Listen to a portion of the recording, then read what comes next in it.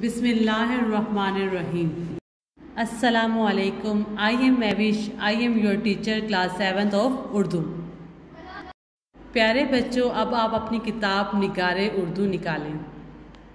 आज का जो उर्दू का हमारा टॉपिक है, वो क्या है? नज़म है, धनक। और इसके शायर का क्या नाम है? हफीज़ जलंधरी है। इसके पेज नंबर है फोर्टी थ्री सबसे पहले मैं आप लोगों को क्या पढ़ाऊँगी? उर्दू का जो चैप्टर है, धनक, उसका नज़म, वो नज़म है और उसका जो शायर है, शायर का नाम हफीज़ जलंधरी है। जी स्टूडेंट आज मैं आपको धनक जो नज़म है, उसके अल्फाज मायनी बताऊँगी। जो मुश्किल अल्फाज होंगे किताब में, आपने वो ढूंढ कर उसके मायनी लिखने हैं।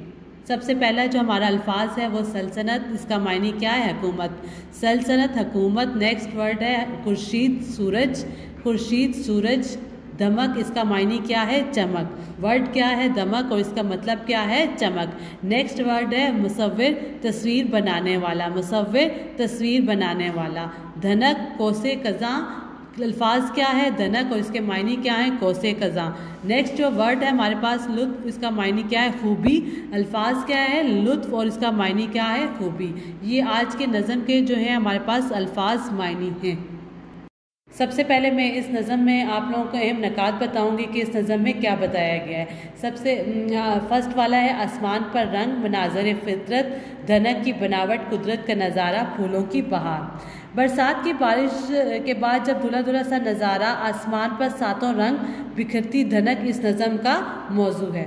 इसमें क्या बताया गया है? इस धनक को वजूद देने वाले बारिश के कतरे हैं जो एक जगह जमा हो जाते हैं और जब इन पर सूरज का साया पड़ता है तो सात रंगों की एक क्या नज़र आती है? आसमान पर एक कमान आसमान पर नज़र आने लगती है। सारे अमल की रुदात देख कुछ इस तरह के बारिश बरसने के बाद जब बादल छटते हैं तो सूरज की किरणें जो हैं वो ज़मीन पर पड़ती हैं और हर तरफ़ सब्ज़ी और घास पर पड़ती बूंदों में से गुजर कर सूरज के मुकाबले अपना अक्स, अपना साया बनाती हैं। इस तरह हमें क्या नज़र आती है? धनक नज़र आती है। शायर क्या हमें बताता है? शायर धनक के शौक रंगों को देख कर हैरान होता है कि इतने हसीन रंग किसी मुसवर ने भरे हैं जो सीधे दिल में उतर जाते हैं और दिल चाहता है कि इनको देखते ही रहें। लेकिन धनक जितनी दिलकश है, इतनी ही नापायदार भी है। इसके अलावा और देखते ही देखते जिस पहले वो आसमान पे नज़र आती है और उससे, उसके बाद देखते ही देखते आसमान से वो गायब हो जाती है। देखने वाले अपनी आँखें मिला रहे होते हैं कि शायद इसका कहीं निशान नज़र आ जाए, मगर सब कोशिश नाकाम हो जाती है। अब आँखों के सामने बस एक नीला आसमान सा रह जाता है।